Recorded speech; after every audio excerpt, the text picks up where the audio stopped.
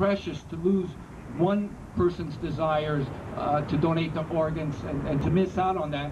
So what they did is they passed along, created a registry where everybody became organ donors, but they made sure people had the option to take their names off. And since they put that system in effect, they have been leading the world in their rate of organ and tissue donations.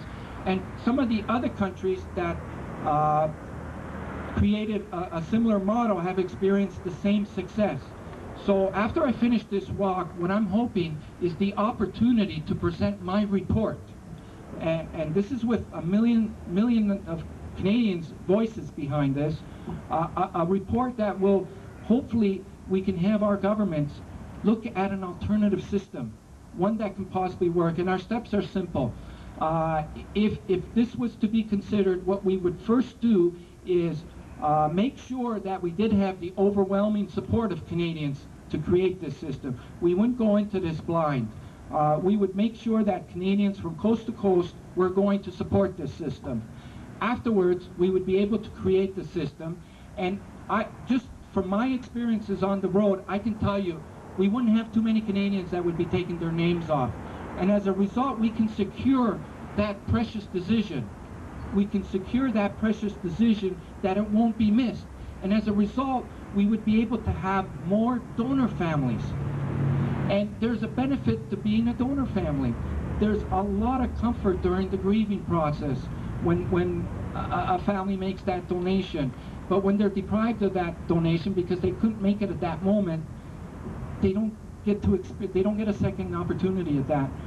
So we would not only be able to honor the individual's wishes, we would also be able to uh, make sure that more lives were going to get saved and make sure that we would have more donor families. It's a win-win situation. So what we're urging is after I finish this is that I, I have an opportunity to present my report. Uh, I'm, I, am actually, it's not confirmed yet, but uh, they're, they got me penciled in in October to, to uh, uh, address the uh, National Council on Organ and Tissue Donation. So I'm pretty excited about that.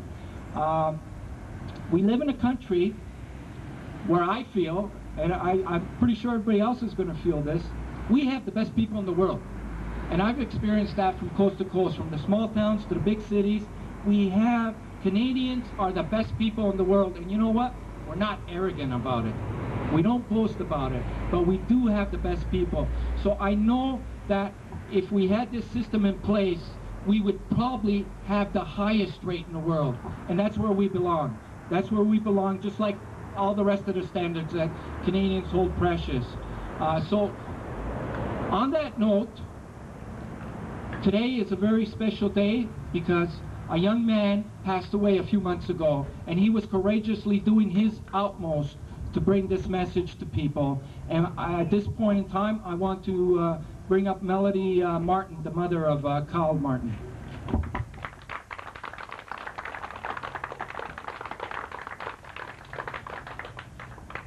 I just want to say thank you very much.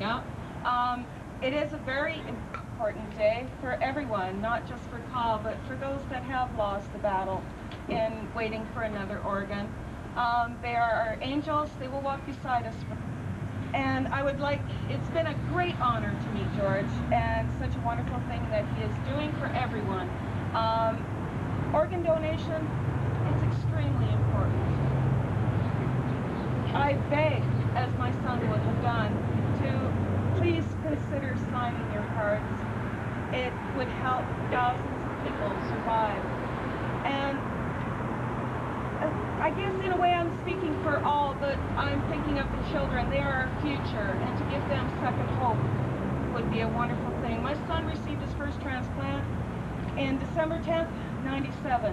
He was blessed with four miracle years. He done so much. He brought out a CD to raise money for organ awareness. He spoke to everybody he possibly could. And I just hope that his dream will be fulfilled and just consider signing your cards. Think of our future, our children, as well as people that are people. That's one thing I enjoy about Peterborough. The people are real. They care, they're outgoing. They supported us for four years. And it's just been one miracle after another. And today we're presented with another miracle. George coming into our lives and helping us to understand what we need. George, I would like to present you with some money that my son had made selling his CDs, and it's to go to organ donation. This may help the cause, we hope. It's $665, and we're still going to work on it. And we are so blessed to have met you. God bless.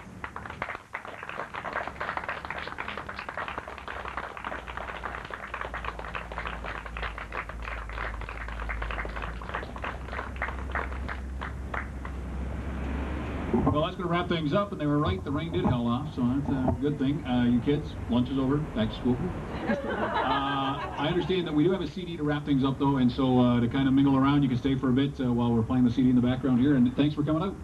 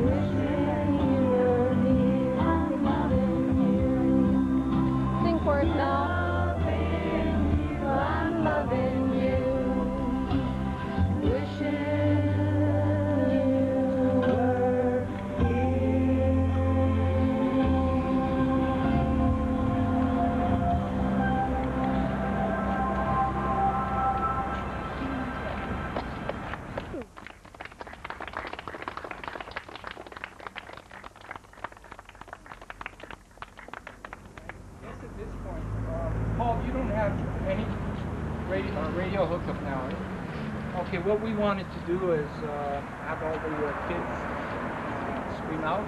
Yes. so we're going to scream out, uh, donate their organs and tissues. Okay, you guys? ready? You're gonna yell for us? We're going to do it at the uh, sound of uh, three. Okay? One, two, three. Donate your organs and tissues! Right on, guys. Good work. Now, I think uh, uh, the uh, TV person wants us to do a little walk.